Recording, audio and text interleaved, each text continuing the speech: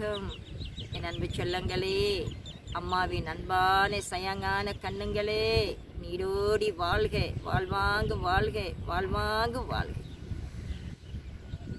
எந்த காரணத்துக்காக நாம் வந்தோமோ எந்த நோக்கத்துக்காக நாம் வந்தோமோ எந்த தர்மத்துக்காக நாம் இந்த பூமிக்கு வந்தோமோ காரணமன்றி காரியமல்லையே அதனால தான் நம்மளை பெற்ற தாய் தந்தையை ஒருபோதும் மறவாத குருவியும் தெய்வங்களும் மறவாத இயற்கையும் மறவாத பிரபஞ்சத்தையும் மறவாத.